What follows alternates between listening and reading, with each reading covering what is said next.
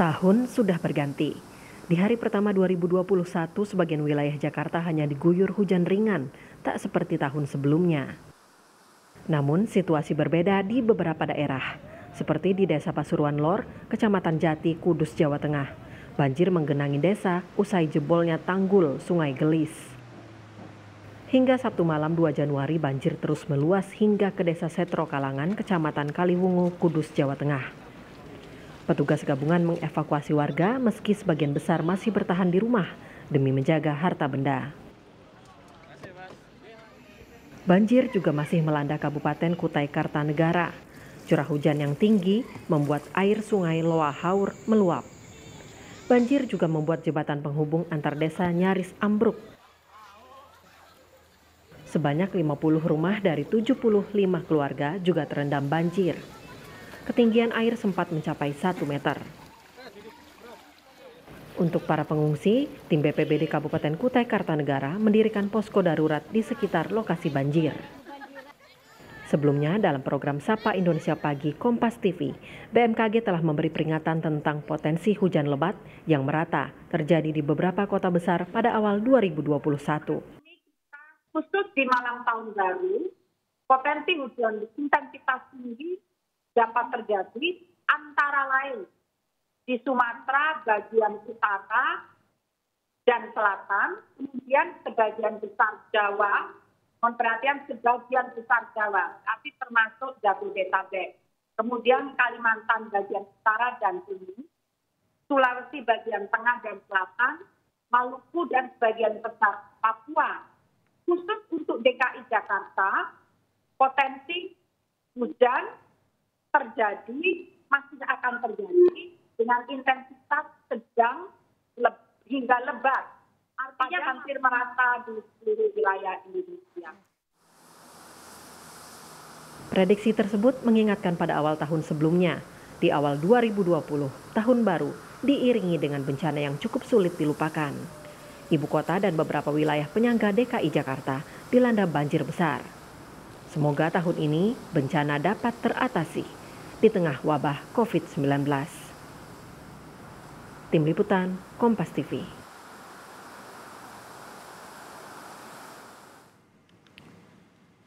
Sudah seperti awal tahun lalu Jabodetabek dilanda banjir besar, apa antisipasi salah satu daerah penyangga ibu kota? Kita akan bahas bersama Kepala Seksi Rehabilitasi dan Rekonstruksi BPBD Kota Bekasi, Pak Suhendra. Juga ada pengamat tata kota, Pak Yayat Supriyatna. Selamat pagi Pak Yayat dan juga Pak Suhendra. Selamat pagi, Mbak Stefani. Sehat ya Pak? Ya. Sehat, Sebenarnya kami juga sudah berusaha untuk mengundang uh, eh, BPBD DKI Jakarta, tapi ya. belum bisa untuk hadir saat ini. Tidak apa-apa, kita bisa dengar dari Pak Suhendra dulu dari uh, daerah penyangga ibu kota. Pak Suhendra ini tadi kita dengarkan bersama BMKG memprediksi puncak musim penghujan ini awal tahun Januari sampai dengan Februari. Sejumlah wilayah dikatakan punya potensi banjir. Salah satunya adalah wilayah Jabodetabek. Langkah antisipasi yang sudah dilakukan oleh BPBD Kota Bekasi apa saja, Pak? Eh, langkah-langkah yang kita lakukan oleh BPD Bekasi dalam antisipasi uh, bencana banjir dan longsor salah satunya adalah dengan uh, mesiagakan petugas BPBD di wilayah Kota Bekasi khususnya 12 kecamatan uh, beserta sarana prasarana dalam rangka penanggulangan banjir, Pak. Apa saja itu sarana prasarananya, Pak? Uh, di antaranya perahu karet kita siapkan di 12 kecamatan, terus juga tenda posko pengungsian ya kita sudah siapkan juga di 12 kecamatan. Dan untuk kecamatan-kecamatan yang uh, berdasarkan tahun lalu ketinggian airnya mungkin uh, paling tinggi kita siapkan penambahan kelengkapannya juga termasuk perahunya kita tambah juga. Uh, wilayah mana saja menjadi titik zona merah rawan uh, banjir spesifik uh, Pak Suhendra di Kota Bekasi sendiri?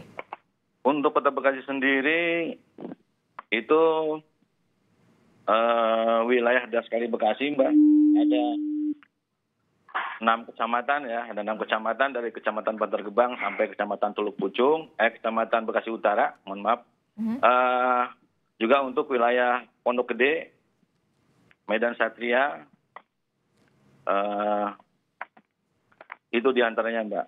Berarti totalnya ada berapa Pak? Totalnya ada sekitar delapan kecamatan yang paling parah. Sebagai zona merah rawan banjir begitu ya?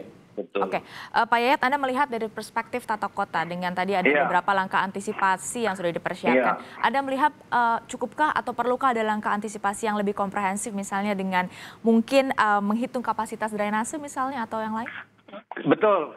Kapasitas drainase, khususnya drainase dan uh, daya tampung 13 sungai lah, model di Jakarta maupun di Bekasi, itu sudah katakanlah sudah tidak mampu lagi jika intensitas curah hujan rata-rata di atas 200 mm. Jadi kejadian tahun lalu itu 271. Jadi sebetulnya kondisi kapasitas drainase dan kemampuan sungai-sungai misalnya untuk wilayah Jakarta dan Bekasi itu memang kalau ada cuaca hujan ekstrim ini sangat-sangat berbahaya. Jadi pertanyaan kita sekarang adalah bagaimana upaya yang dilakukan saat sekarang ini untuk mengurangi kemungkinan beban itu semakin berat dengan melakukan upaya misalnya membuat polder, pengerukan, atau upaya pembebasan di kawasan yang sangat sensitif. Nah, contoh kasus Bekasi. Bekasi itu kemarin dengan Jakarta Timur sebagian karena menghadapi cuaca ekstrim yang cukup tinggi. Nah, pertanyaannya berapa besar sebetulnya kemampuan sungai di Bekasi, sungai-sungai di Jakarta. Nah, kalau untuk Jakarta sendiri sekarang sudah ada upaya untuk melakukan pembebasan di lima kawasan sungai yang kemungkinan potensi kapasitasnya bisa ditingkatkan. Kemudian menambah resapannya misalnya dengan polder pada wilayah-wilayah yang paling sensitif dan paling rawan seperti di Green Garden, Mangga Dua, Telogong atau di Kalibetis ya. Jadi sekarang menurut saya upaya pemetaan pada lokasi-lokasi yang paling potensi tergenang jika cuaca atau curah hujannya di atas rata-rata 100 lah. Karena Jakarta pun tanpa kiriman dari Bogor, kalau cuaca hujan ekstrim, pasang laut terjadi, itu bisa terjadi banjir di mana-mana. Hmm, kalau Pak Yayat sendiri melihat um, tahun ini kita lihat tidak ada banjir seperti tahun lalu. Apakah semata-mata karena memang curah hujannya yang tidak sebesar tahun lalu atau memang sudah ada perbaikan di Jabodetabek atau spesifik Bekasi misalnya? Memang curah hujan itu sangat mempengaruhi terjadi potensinya banjir. Tapi kita harus bersyukur dulu, alhamdulillah tahun ini tidak terjadi banjir seperti tahun 2010 kemarin. Ya. Coba terjadi banjir sekarang. Rumah sakit penuh sekarang ini. Hmm. Tenaga kesehatan kewalahan penyediaan tempat pengungsian itu belum memadai untuk mengantisipasi bencana non alam seperti COVID ini. Ya. Maka menurut saya upaya yang dilakukan sekarang adalah persiapan. Kita sekali lagi mengatakan informasi cuaca dari BMKG itu menjadi kata kunci. Seperti informasi tadi dikatakan ada potensi curah hujan sedang sampai lebat. Pertanyaannya di mana lokasinya? Kapan bisa terjadi? Maka otomatis kesiagaan pada wilayah-wilayah yang dianggap paling sensitif itu dioptimalkan. Seri contoh, mengoptimalkan pompa-pompa yang ada dan tersedia sekarang. Apakah kapasitasnya sudah ditambah nggak kemampuannya? Kemudian kedua, kesiagaan pada uh, tingkat RT RW, misalnya nanti dari dukungan Badan Penanggulangan Bencana Daerah. Jadi sekarang ini pertanyaannya, kalau terjadi bencana banjir, Dua kesiapannya, kesiapan dalam antisipasi banjir dan antisipasi pencegahan potensi penyebaran COVID.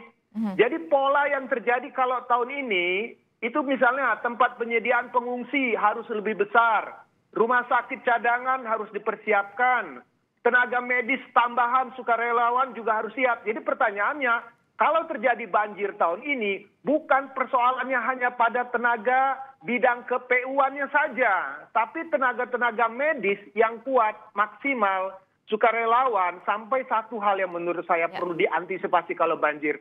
Penguatan fisik dengan pemberian vitamin bagi masyarakat. Hmm, jadi secara paralel begitu ya? Kuat. Hmm. Oke, uh, jadi kalau di Bekasi sendiri Pak Suhendra sudah adakah data-data tadi yang disebutkan oleh uh, Pak Yayat salah satunya soal data kapasitas sungai, kapasitas drainase, juga koordinasi dengan BMKG soal data-data kapan, di mana curah hujan di hari tertentu.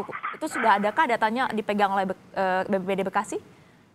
Uh, saat ini Alhamdulillah kita ada sering juga mengadakan koordinasi dengan pemerintah pusat, dengan wilayah perbatasan, dan untuk data-data itu jelas uh, kita juga selalu ada informasi dari PMKG dan juga dari BNPB untuk antisipasi uh, curah hujan. Di mulai Januari sampai Mei. Dan kita juga sudah uh, mengeluarkan keputusan wali kota Bekasi tentang status status da, siaga status darurat siaga bencana hidrometeorologi, Pak. Mm -hmm. Itu sejak kapan ya Pak Suendra? Itu mulai tanggal 30 Desember sampai tanggal 31 Mei 2021, Mbak. Hmm. Dengan 31 ya? Desember 2020 sampai tanggal 31 Mei 2021. Hmm. Oke, dengan status siaga darurat bencana hidrometeorologi ini apa langkah konkretnya yang berbeda dari uh, antisipasi sebelumnya? Uh, langkah konkretnya tentu uh, harus sesuai dengan rencana aksi ya, seperti yang Pak Yat sampaikan tadi. Kita harus persiapkan segala sesuatunya, termasuk uh, sarana prasarana tanggul, pompa air, juga tadi untuk posko kesehatan, dapur umum harus kita persiapkan di hampir 12 kecamatan. Juga bersama petugas-petugasnya, termasuk petugas medis, uh, petugas dinas sosial, dan juga RT RW. Saat ini Kota Bekasi juga sudah ada uh, eh, RW siaga, Mbak, RW siaga bencana. Ya. Itu seperti apa, Pak Suendra? Uh, eh, RW siaga ini sudah kita lombakan. Ini sebagai, sebagai uh, apa namanya stimulus untuk mereka untuk memicu mereka agar bisa tangguh dalam setiap bencana. Hmm, Oke, okay, berarti ada sosialisasi juga begitu ya? Betul, kita sosialisasi terus Mbak. Juga kita ada pelatihan-pelatihan untuk relawan dan juga uh, TNI Polri yang akan membantu kita manakala terjadinya bencana kita uh, apa namanya pelatihan water rescue, Mbak. Hmm, Oke, okay. ada banyak persiapan tadi yang sudah disebutkan oleh Pak Suhendra juga tadi Kang Yayat juga sudah menjelaskan panjang lebar. Yeah. Tapi kalau ditanya Kang uh, Pak Yayat, uh, apa yang paling harus segera dilakukan agar ketika curah hujan yang diprediksi akan datang ini uh, tinggi tidak mengakibatkan banjir?